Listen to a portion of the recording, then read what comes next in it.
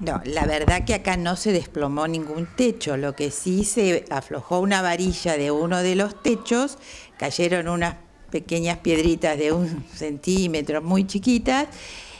Y bueno, le golpeó sí, a una de las nenas, la directora tomó los recaudos inmediatos, eh, llamó a los papás de esos nenes, les informó, los llevó hasta el, hasta el lugar donde había sucedido esto. Inmediatamente el aula fue este, desalojada y se ubicó a los chicos en otra aula dentro del establecimiento. Eso es todo lo que pasó pero nosotros no nos quedamos tranquilos con eso, se llamó a una profesional, arquitecta, técnico en seguridad de higiene, que vino a evaluar lo que había pasado, porque si bien la escuela ya tenía planificado hacer este, los nuevos techos con cielo raso, eh, bueno, no nos dieron los tiempos porque no lo podíamos hacer en época de clase, tenemos que hacerlo en vacaciones. Eh, bueno, la arquitecta vio y como eh, esas aulas están en el donde está el gimnasio, el techo del gimnasio sí estuvo muy averiado con las tremendas lluvias que tuvimos se filtró el agua. En vacaciones de invierno se hizo todo ese tinglado nuevo pero bueno, la madera ya quedó averiada y esto es lo que la eh, detectó la arquitecta y dijo, no, por la tranquilidad de la escuela y de todo, yo recomiendo desmantelar todo esto. Y mandó el personal idóneo para hacer eso, el carpintero.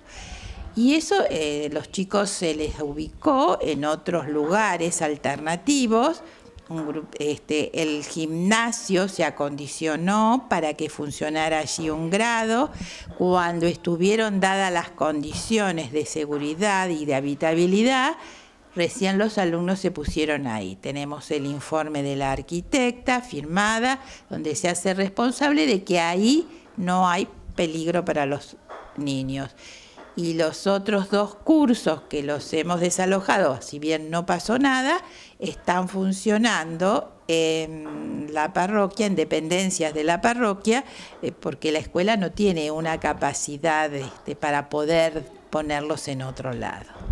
Ahora, ¿se cumplió con el procedimiento eh, concretamente para eh, todos los papás? Esto de informarlos, de contarles lo que había ocurrido. ¿Se va a hacer una reunión? Sí, el día eh, viernes, en principio se hizo una reunión al día siguiente de lo sucedido, que fue el 14 de noviembre.